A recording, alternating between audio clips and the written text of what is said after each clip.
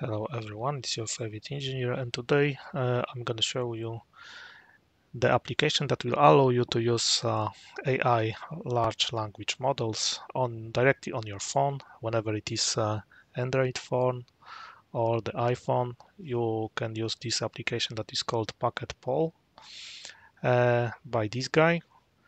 So there's a large description on the github but the application is pretty simple uh, to use so I don't think anyone will have any problem with it.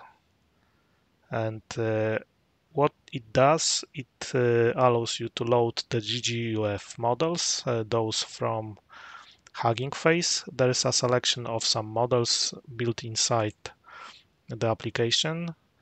And uh, I will be using uh, this type of LLM in this app uh, there are some GGUFs that are optimized to use with the uh, ARM architecture, so the one that is used in the Snapdragons and any other uh, mobile phones. And if you go to the PocketPal, you will see that in a moment. It's easy to download and to launch it on the phone. So let's get started. And now I will show you the application uh, to use uh, large language models on your phone directly without any type of internet access. So the application you need to download from the Play Shop. The name is PocketPal. So if you put PocketPal here and download it, as you can see, I already have it downloaded. It's only 10k downloads, so it is pretty new.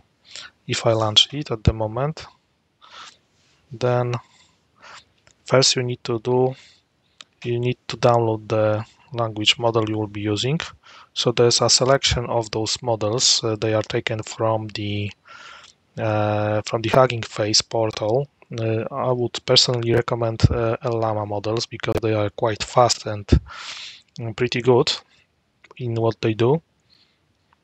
But there's a there, there are also some other like Gemma, Phi, Qwen and so on I think it's around 10 of them at the moment. Uh, they are in the GGUF format. So let's play with uh, let's play with with a llama. Let's see what it can do. Uh, I have chosen the smallest one because the reason is because my phone is only has only 6 uh, gigs of uh, RAM so it is very old it's Samsung A52s with the Snapdragon let me land load the model. Let's see how it performs. So it's now loading. As you can see, once it's loaded, I can play with it. Okay, so it is now working.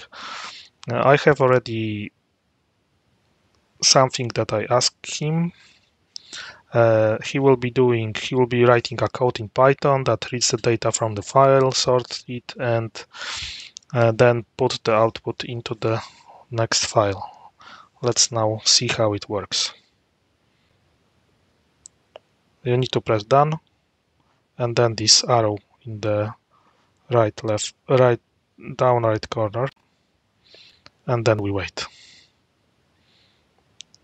See, it's pretty fast, so it's around, I think it's seven lines per second, seven words per second. Let's see what he can do.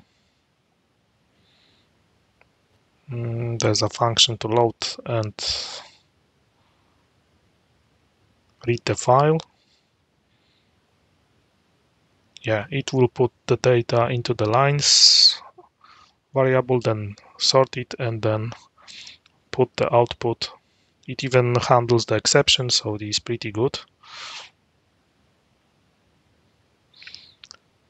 And he puts uh, he gives you an explanation how it works. So it is quite fine. Let's wait and ask him to do the same in C uh, language. Let's see it, uh, it, if he can write in C. He can code in C.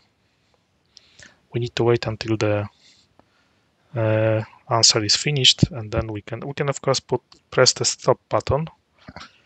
But now write the same code but in C. and let's now see if it can do it in C. Oh, now it, it takes a longer time. Let's see. Yeah, so the backing is quite fine. Uh, yeah, what what what does it do?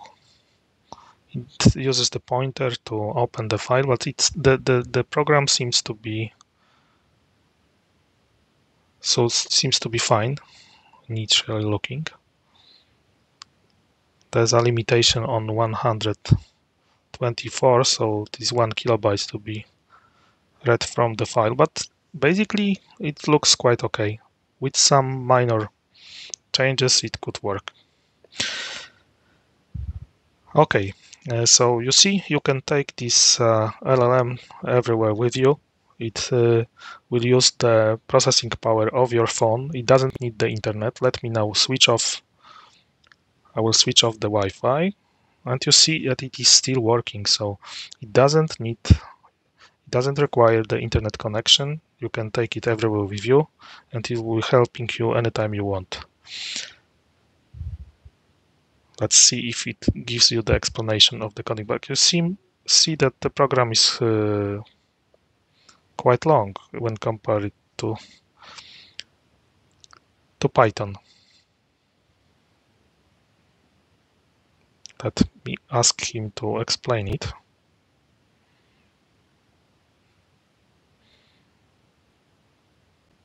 Let's see if it gives an explanation. Now it's thinking, right?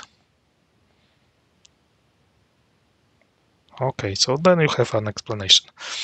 Okay, I think that's all for now. I hope you enjoyed this uh, video. And if you did, uh, please press the like button and subscribe this channel. Thank you very much and see you. Bye bye.